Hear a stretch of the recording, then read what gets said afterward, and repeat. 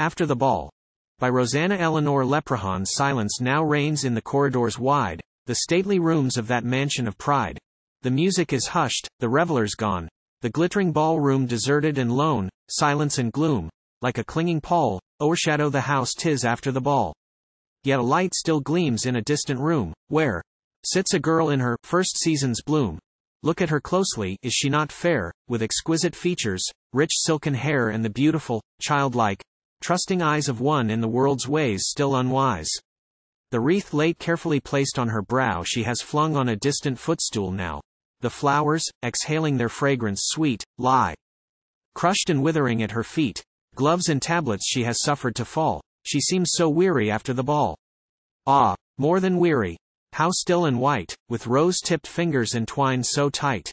A grieved, pained look on that forehead fair, one which it never before did wear, and soft eyes gleam through a mist of tears, telling of secret misgivings and fears.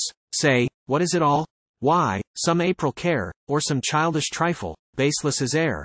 For the griefs that call forth girlhood's tears would but win a smile in maturer years, when the heart has learned, mid pain and strife, far sterner lessons from the book of life. Ah, far better for thee, poor child, I ween, had thy night been spent in some commercine, communing with volume or friend at will, or in innocent slumber, calm and still. Thou wouldst not feel so heart weary of all as thou tonight thou feelest, after the ball.